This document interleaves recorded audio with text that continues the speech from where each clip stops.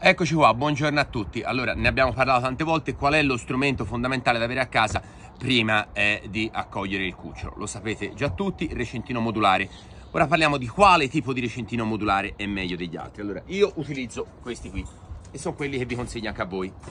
Recintino di ferro, che è poi dopo tranquillamente eh, ripiegabile, vi sconsiglio invece di utilizzare i recintini quelli in plastica, perché dopo il recintino in plastica in particolare hanno una, una tela diciamo sul basso sul fondo del recintino e questo diciamo vi impedisce anche di eh, pulirlo nella maniera adeguata quindi è più difficile da gestire mentre il recintino in ferro siamo sicuri che il cane non andrà eh, a rosicchiarlo e eh, diciamo potrà svolgere tutte le funzioni per il quale noi l'abbiamo allestito che ricordiamoci sono intanto dare un ambiente eh, circoscritto all'animale questo gli dà molta più sicurezza e poi dà sicurezza anche a noi perché evitiamo che magari durante le nostre assenze il cane possa andare a sporcare in giro per casa. Quindi recintino modulare, uno strumento veramente fondamentale, io ve lo consiglio di questi in ferro ripiegabili. Io vi ringrazio e vi auguro una buona giornata.